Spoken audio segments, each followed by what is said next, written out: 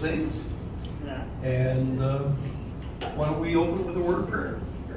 Oh father, we thank you for the opportunity we have to uh come before you and give you our praise and our thanksgiving for all the blessings which you bestow upon us. The ultimate blessing, the blessing of salvation through uh, your Son that has allowed us to have a relationship with you and have eternal salvation. And so uh, help us to give you the honor, the glory, the praise that you so richly deserve. Help us uh, uh to be the kind of uh, worshipers that you would have us to be. We just pray these things in Jesus' name. Amen. we stand for the next one.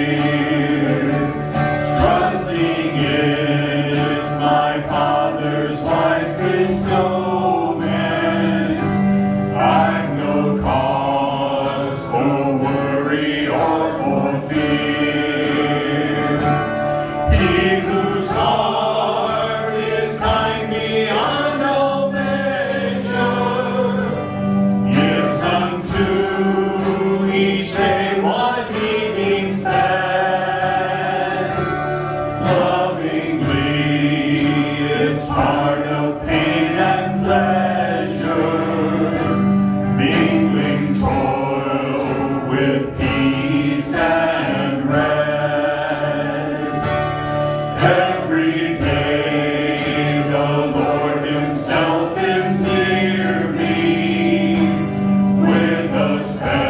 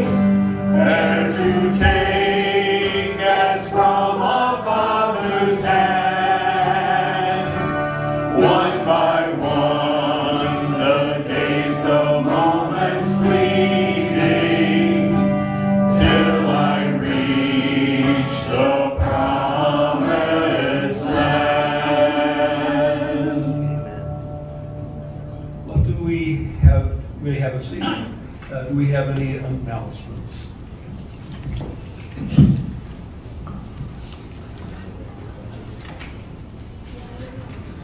There. There.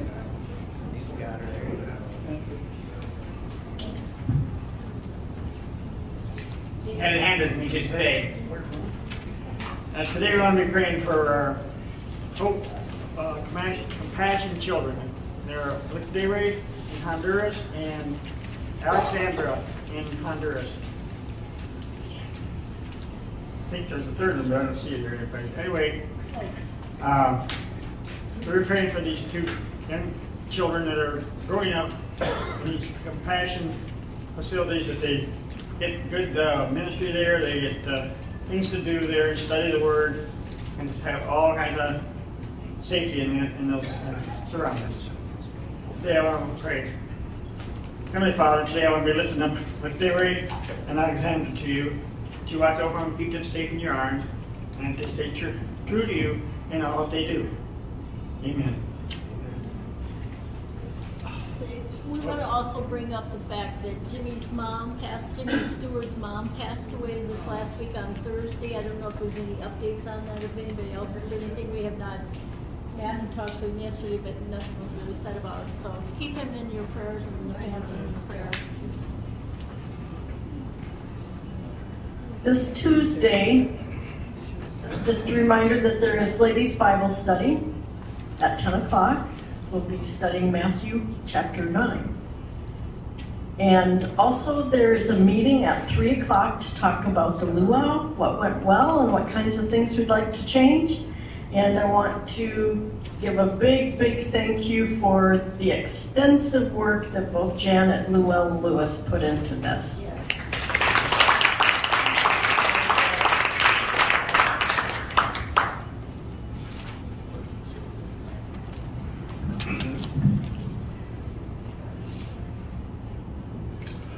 scripture reading today is from Romans chapter 5.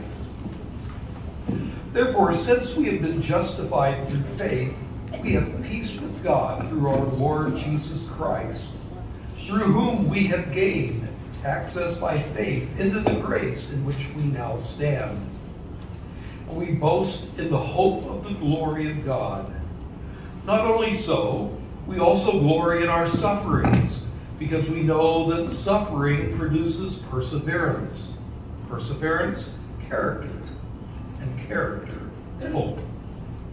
And hope does not put us to shame, because God's love has been poured out into our hearts through the Holy Spirit who has been given to us. May the Lord bless the reading of his word. Let's pray. Dear Lord, we thank you so much for all the scriptures you've given us that point to hope. The hope that we have not only down here while we're on earth, that we can, as humans, we become obsessed with our troubles, the things that scare us, the things that upset us. And uh, Lord, we, we thank you for these scriptures that help point to you and let us know that we don't have to fear. And we thank you for the scriptures that point to why we don't have to fear. We have a place in heaven if we accept you, Lord. And, and uh, help us to focus on that and forget about the things that we become caught up in down here. In your name we pray. Amen. Amen. Stand for the last song.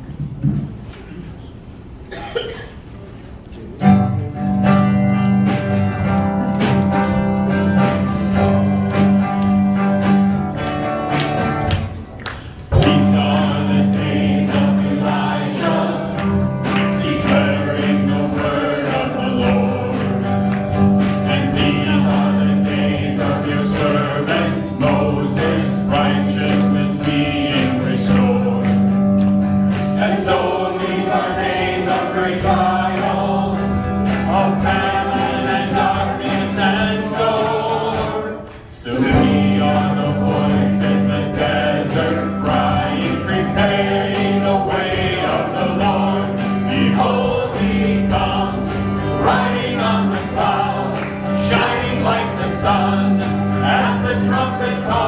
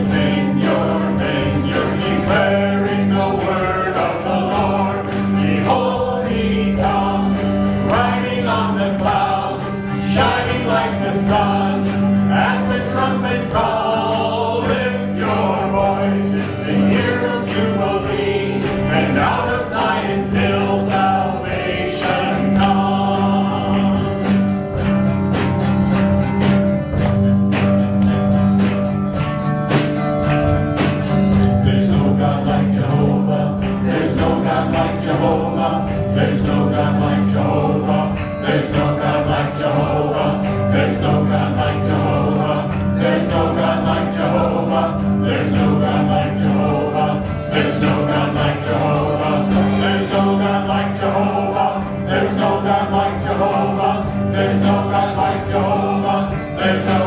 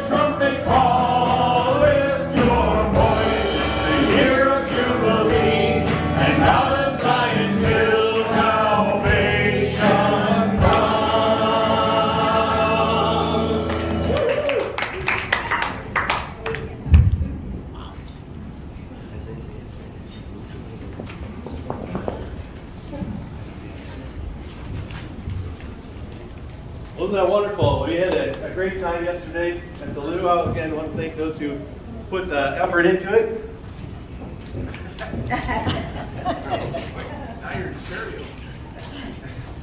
And for those of you who invited friends, those who invited uh, neighbors, coworkers, families to come and join us. Uh, it is exciting to be in the times where God's word is being fulfilled, where the promises that were made to Israel have been made manifest, and that Christ has come, and that He died on the cross for our sins, and He rose from the dead, and that He is coming again for us. And we're excited about that.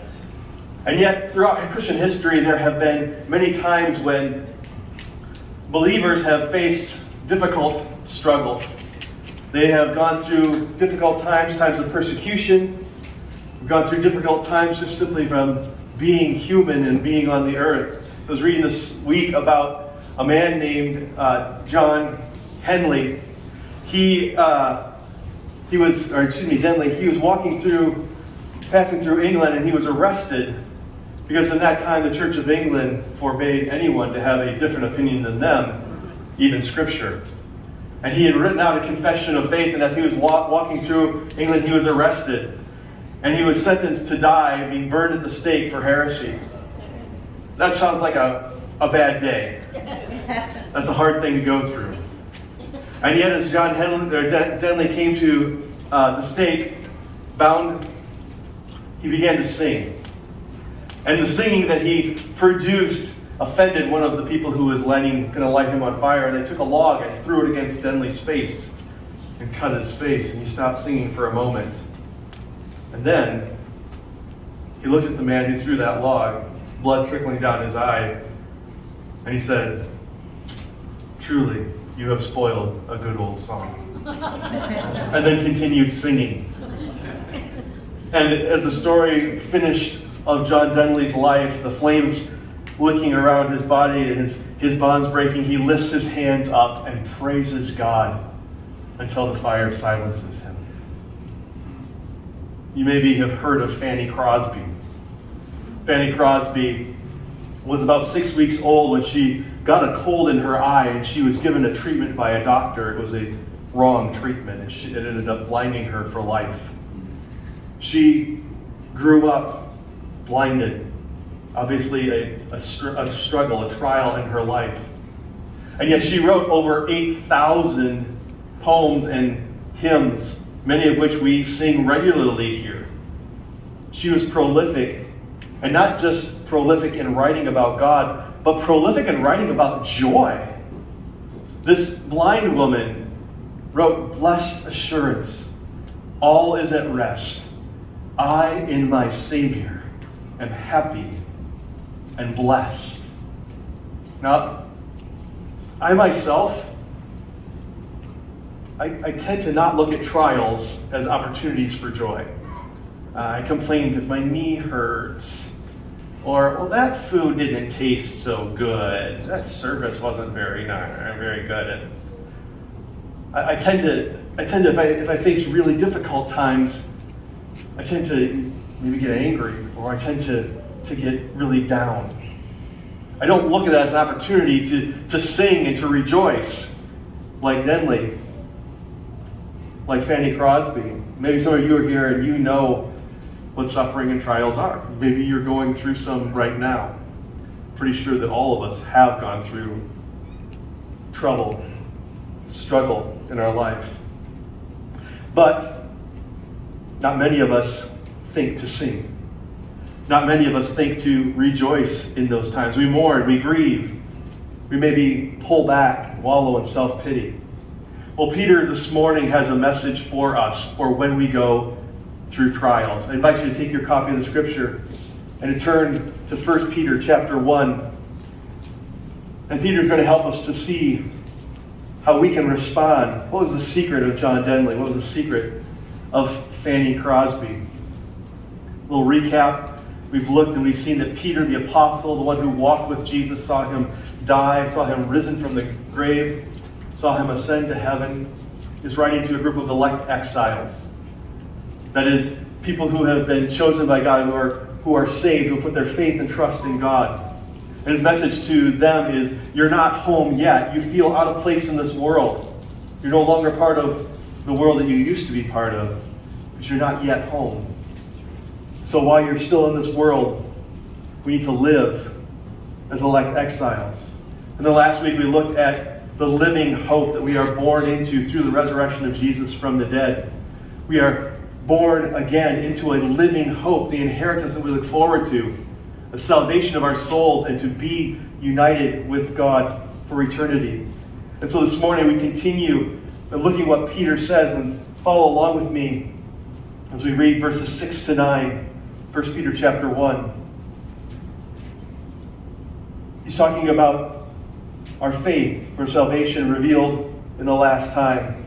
He says, In this you rejoice, though now for a little while, if necessary, you have been grieved by various trials, so that the tested genuineness of your faith, more precious than gold that perishes, though it is tested by fire, may be found to result in praise and glory and honor at the revelation of Jesus Christ. Though you have not seen him, you love him. Though you do not see him now, you believe in him and rejoice with joy that is inexpressible and filled with glory, obtaining the outcome of your faith, the salvation of your souls. This is the word of the Lord. Well, we all face trials. But I hope this morning we see through this that we can rejoice when trials come because God is at work. That's a hard thing to do. And so as we go into the scripture, dig in a little bit this morning, I'd ask that you would join me in prayer, asking for God's help in that. Father, we thank you that you have given us your word. We thank you that you have instructed the Apostle Peter to write so that we are encouraged today. As we face trials of various kinds, we ask, Father, that you would help us to know the secret to rejoicing in trial. That you would come alongside of us and teach us so that as we walk through this week ourselves and as we walk along, brothers and sisters in Christ, co workers, friends, people who work and go to our schools, we ask, Lord, that you would help us to have a right perspective when tough times come so that we can know you and we can share you with others. In the name of Jesus. Amen. Well, the first thing that we're going to see this morning is that believers will face trials. Believers will face trials. Look again at verse 6. In this you rejoice, though now for a little while, if necessary, you have been grieved by various trials. The elect exiles that Peter is writing to are experiencing trouble. In fact, we are born into a world of trouble. We are born into a world that is fallen, that is corrupted by and subjected to the frustration of our sin. We face trials from ourselves, from other people, from natural forces out there, things that are going on around us. And there are trials that we face uniquely as followers of Jesus, those who have put our faith in Him. Jesus told His disciples, that they should expect trials. In John 16 33, he said, I've said these things to you, that in me you may have peace. In the world you will have tribulation. Another word that the New Testament uses for troubles and trials. The early church apostles and the church elders expected trials. 2 Timothy 3:12 Indeed all who desire to live a godly life in Christ Jesus will be persecuted. Okay, so this is this is a difficult thing, right? We don't when we try to share the gospel, the good news of Jesus with people, we don't start with all who desire to live a godly life in Jesus Christ will be persecuted. We don't start, that's not a good selling point. However, it is true. It is true. Those who desire to follow Jesus, those who desire to obey Him, live as He would have us live, will face trials and will be persecuted. Maybe you have experienced that. Maybe you have been spoken badly of. Maybe you missed out on some opportunities. Maybe you have actually been persecuted for your faith. All who desire to live a godly life will be persecuted. And in 1 Peter 4.12, a little bit later in this letter, Peter says this, Beloved, do, do not be surprised at the fiery trial when it comes upon you to test you, as though something strange were happening to you. This is not uncommon for Peter to say, You will be facing trouble. You will be facing persecution. You will be facing suffering and affliction. This is part of the new life in Christ. We are born into this new life of trial. We have struggles within our own selves as we as we seek to rid ourselves of the old patterns of life that we want to live. And we struggle to put on the new life. We struggle to wrestle with how do I do the right thing in the right way. We have struggles with others because of our faith. Jesus told us that believers will face trials, and he told us why. In John 15, he's talking to his disciples, and he says this If the world hates you, know that it hated me before it hated you. If you were of this world, the world would love you as its own. Because you are not of the world, but I chose you out of the world, therefore the world hates you. Remember the word that I said to you a servant is not greater than his master. If they persecuted me, they will also persecute you. Jesus tells us the reason because we no longer belong to the world, we belong to Him. And if the world hated Him, we saw that as they turned on Him and put Him to death, the world will hate us. We should expect struggle, not just in ourselves, not just from those around us, but we also have spiritual enemies seeking to undermine our faith. 1 Peter 5, we'll talk about this later as we continue to unfold this book, but Peter says this Be sober minded and be watchful. Your adversary, the lion, the, the devil, prowls around like a roaring lion, seeking someone to devour. Resist him, firm in your faith, knowing that the same kinds of sufferings are being experienced by your brotherhood throughout the world. We face trials from within, we face trials from the outside, we face spiritual enemies. Our trials for believers are sure that we will face trial. I know you're excited now. You're ready to sing, right? Wait, that's not necessarily good news, right? Well, Peter gives us some insights as to how we should come at a perspective as we look at the trials that we're going to face. And he does it right here in verse 6. Look at some of the things that he said. That our trials, our, our troubles will bring turmoil, that, that we will be grieved by these trials. Trouble is real. It affects us. It affects our lives, it affects our, our mindset. It grieves us when we go through difficult times. Another thing he says is that the trouble does not last forever, that our trials are for a little while. That when this life is over, our trials will be done. For some of you, you know what it's like to go through a short trial. Maybe you're having a disagreement at home. And then you realize, oh, we're saying the same thing, we're just saying it in different louder and louder ways. Not that never happens at our house. Here. Maybe you've experienced that, and, and your trial is over shortly. Maybe some of you have struggled, or you know people who have struggled for years and years and years, maybe with physical difficulty, maybe with broken relationships, maybe with isolation and estrangement.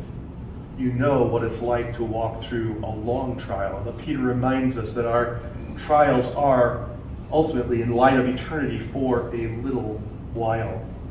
Eh. He tells us that our troubles serve a purpose. He uses the words, if necessary. If it's necessary that we go through trials, then there's, a, there's someone who is deciding whether or not it is necessary. We'll talk about that in just a little bit. But our trials serve a purpose. Our trials are not pointless. We don't go through suffering for no reason. He reminds us that our trouble comes not the same form all the time, but comes in various forms. In fact, the New Testament uses a lot of different terms talking about the troubles that we go through. Trials is one of them, temptation, persecution, suffering, tribulation, affliction, testing. Our trials come in various forms. Sometimes it's physical, sometimes it's relational, emotional, sometimes it is spiritual. The trials that we have come in various forms. And Peter tells us to keep that in mind. That we should also not be not have trials diminish our joy. trials are for a time. But there is one who has loved us, who has demonstrated that love for us, who is guarding and keeping our inheritance, as we talked about last week, so that our joy should not be diminished. Life is hard, and trials are going to come our way. And they might even be increasing. As we've just sung about it, if these are the days of Elijah, if these are the days of approaching the day of the Lord, our troubles may be increasing. And yet, we can rejoice when trials come because God is at work. Peter then goes on and he tells us that our trials refine our faith. We talked a little bit about purpose. Our trials refine our faith. Look at verse 7. So the tested genuineness of your faith, more precious than gold that perishes, though it is tested by fire, may be found to result in praise and glory and honor at the revelation of Jesus Christ. Our trials have a purpose to them. The purpose is to draw us closer to God and to bring a steadfastness and a wholeness to our faith and to our lives. James speaks of this same thought. You may actually think that they're, they're writing back and forth to each other. When in James chapter 1, James says this Count it all joy, my brothers, when you meet trials of various kinds. Does that sound familiar? For you know that the testing of your faith produces steadfastness. And let steadfastness have its full effect, that you may be perfect and complete, lacking in nothing. James reminds us that the purpose of our trials is to produce in us steadfast faith. A faith that's not wavered back and forth by circumstance. As you go through trial and you find God faithful, your faith increases and is strengthened and is bolstered, is secured, so that as you go through the next trial, you say, I, I've seen this before, or I know what this is like, and I have found that God is worthy, God is faithful, God has provided for me. And I can enjoy, approach this trial knowing that He has my life in His hands, that He is for me and not against me. And that produces in us a steadfastness and a wholeness of life, a shalom, a fullness of peace. What's the contrast to that? Well, Jesus gives us a little bit of a contrast in the parable of the sower. As he talks about a, a, a sower going out and, and, sowing seed, and he explains to his disciples that's the word of God going out. And it falls on some on a, a hardened heart, a hard path. And it says, though it never went out, it's just taken away, there's no growth at all. But then he gives examples of three other soils. And the first one sounds like what Peter's talking about here that we should guard against. This is how Jesus describes that seed that goes into the rocky soil. He says they have no root in themselves, but endure for a while, and then when tribulation or persecution or troubles, trials arise on account of the word, they immediately fall away. Those who seem to look like they're, they're responding to God's word, but then when trouble comes, when, when trials come, they don't have a steadfast, whole faith. And so when trouble comes, they're ready to, to just scrap it all. He talks about a third soil. He says that this is a different kind of trial, but Jesus says the other ones are sown among thorns. They are those who hear the word, but the cares of the world and the deceitfulness of riches and the desire for other things enter in and choke the word, and it proves unfruitful a different kind of trial. A lot of times we think of trials and troubles as negative things in our lives, but sometimes our trials come when things are going very well. When we have the opportunity to make a lot of money or get a lot of attention for ourselves. When those things, all those things can be gifts from God, when we pursue them as the givers of life to us, it is another trial. And there are those who seem to have a faith that seems to be alive, but they're choked out because they start to pursue the, the trouble of good things.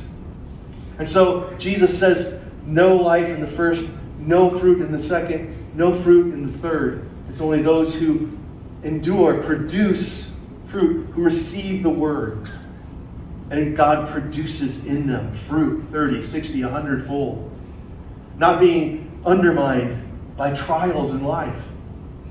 As we go through trials, it, it bolsters our faith. It helps us to refine our faith and make it stronger. Kyle Farron talks about trials and he helps us to see that the trials are part of God's work and they come in various forms to refine our faith. Some might be for discipline's sake. We maybe have wandered away from God. We have been disobedient. And so God places a trial in our life, a stumbling block, a, a consequence for our sin. Not to be mean to us, but to call us back to Himself. This is what Hebrews 12, 5 and 6 tells us. Do not lightly regard the discipline of the Lord, nor be weary when reproved by him, for the Lord disciplines the one he loves. If we discipline our, our little girl, we, we do it because we love her, because we want to produce in her good behavior. We don't want to, to punish her. We don't discipline her because we don't like her. We discipline her because we love her in the same way the Lord disciplines us when we start to wander away from Him. Trials also, Farron says, put God's power on display and show us and others that God is infinitely valuable. The people of Israel went to Egypt and they were subjected to slavery. And they stayed in Egypt for about 400 years.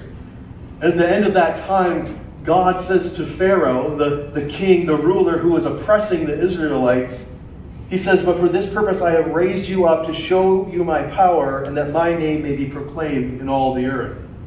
The suffering that the Israelites were going through, the suffering that Pharaoh was about to go through, the trials, the, the, the ten plagues that he was going to endure, were to make God's name great among the earth.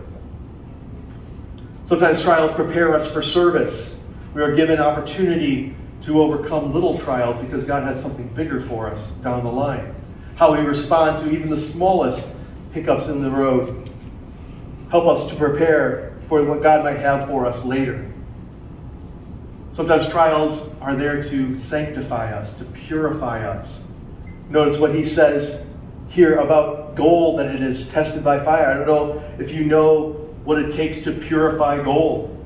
To take a, a, a nugget of gold and to remove all of the impurities, to refine it, to make it pure. You have to take it, you have to put it in great heat. And you have to get it hot enough so that the, the impurities pull away from the actual gold. And you have to have skill to take off that dross, to take off that impurity, to refine the gold. And yet, Peter says that our faith is more precious than gold that's been refined. It's more precious because that gold will ultimately perish. Our faith points us to our home, to the home of us as elect exiles. Our faith will continue because the object of our faith is eternal. And yet, trials refine us. They help us to see what really matters. Maybe you've gone through a time of trial in your life where you were chasing after some things that you knew you shouldn't, or chasing after some things that maybe you thought were good, and you realized that they were vain, they were empty. And trials help refine us, pure, purify us, so that our faith, which is more precious than gold, is refined and made pure. Trials also make us depend on God.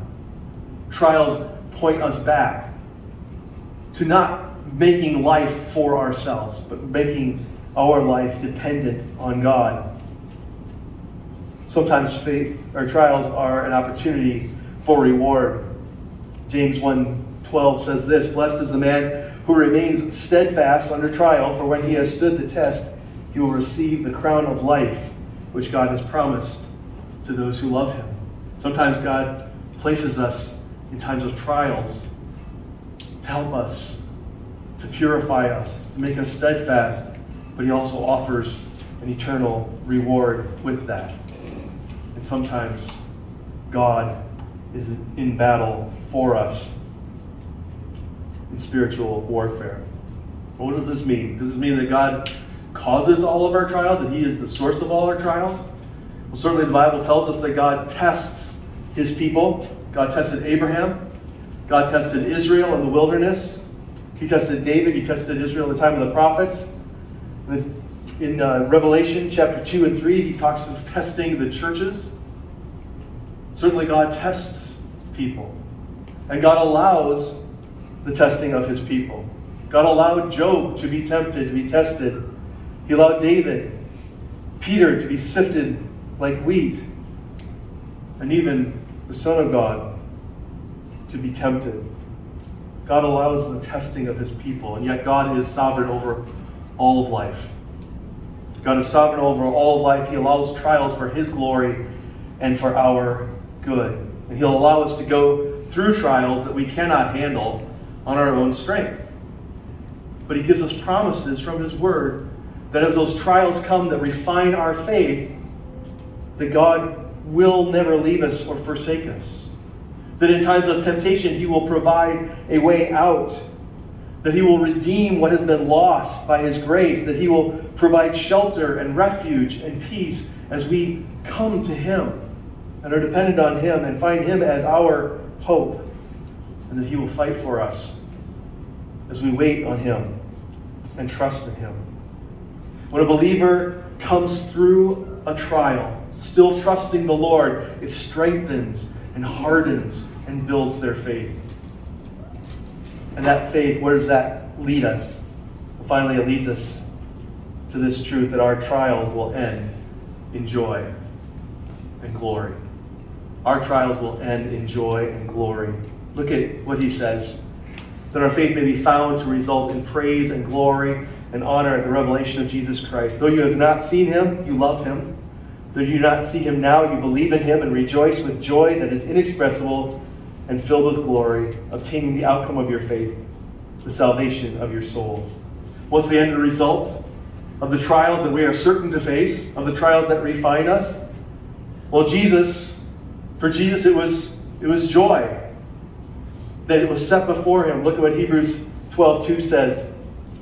Looking to Jesus, the founder and perfecter of our faith, who for the joy that was set before him endured the cross, despising the shame, and is seated at the right hand of the throne of God.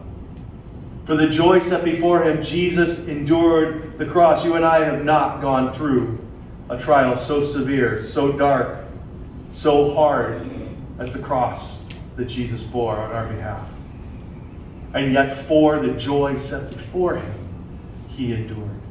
Are you struggling with trial today? Do you know someone? Do you love someone who's going through a really difficult time? Do you set before them the joy that Jesus had before him?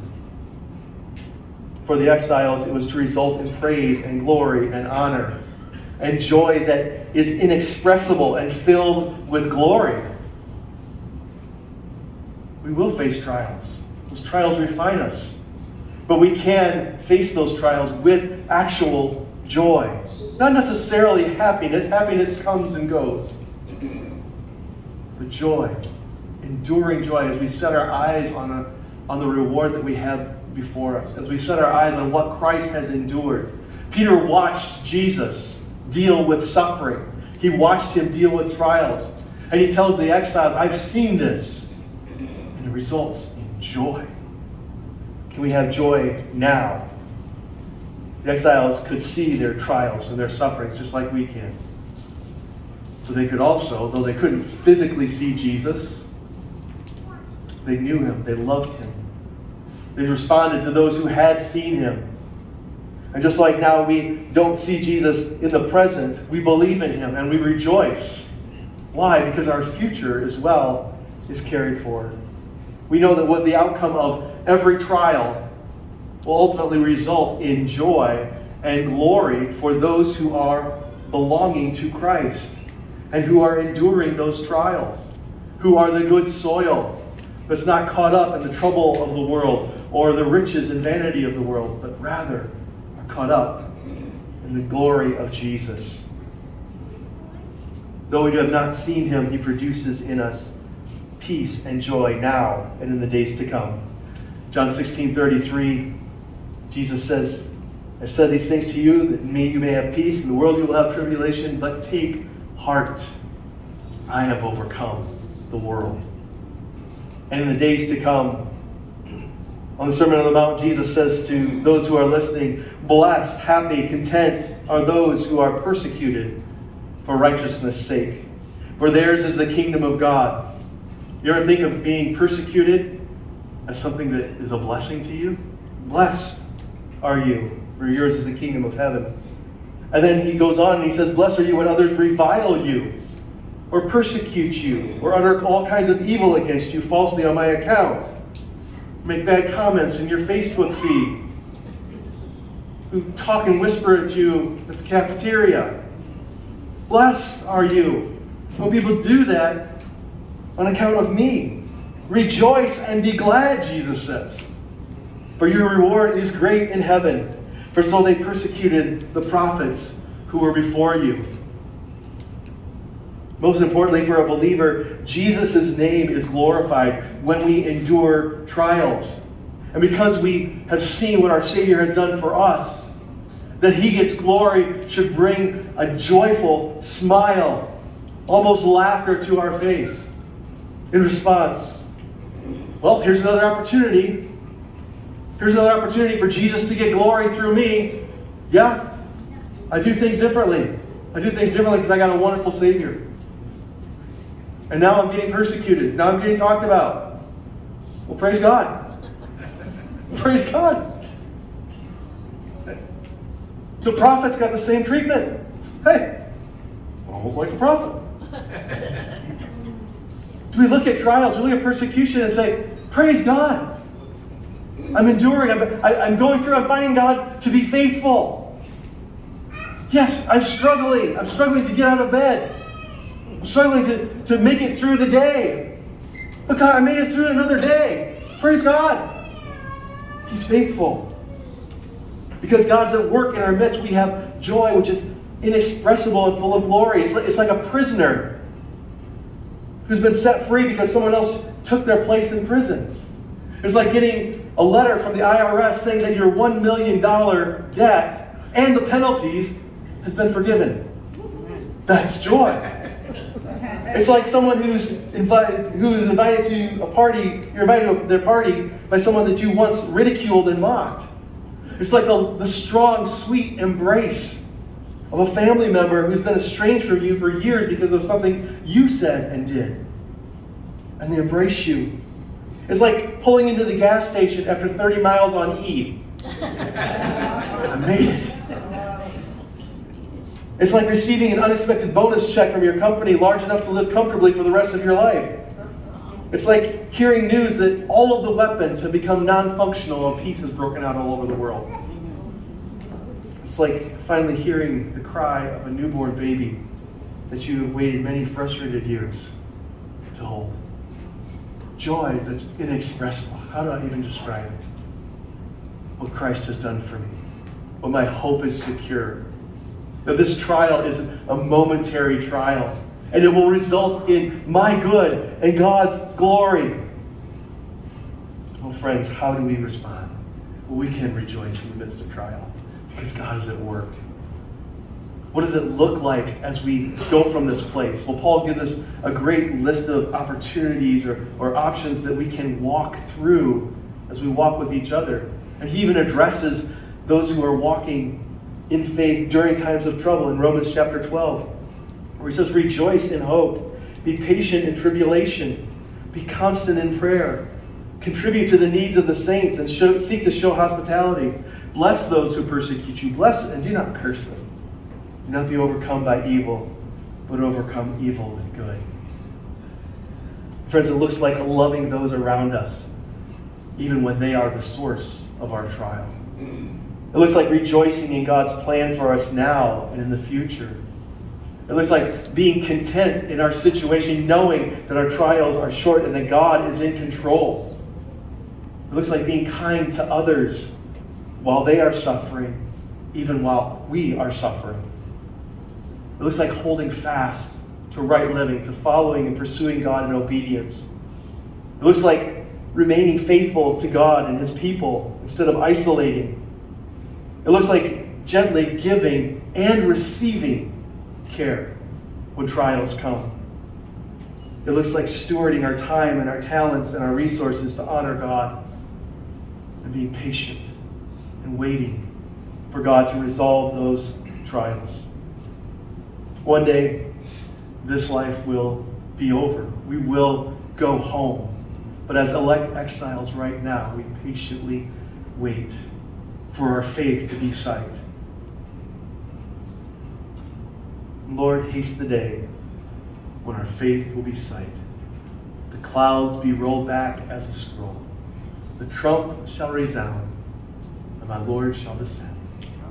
Even so, it is well with my soul.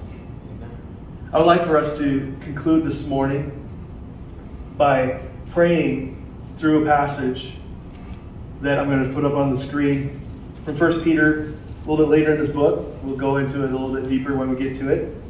But 1 Peter 4 12 to 16. So I invite you to stand for our benediction, and I'm just going to pray this passage to the Lord. Join your hearts with me as we respond to Him.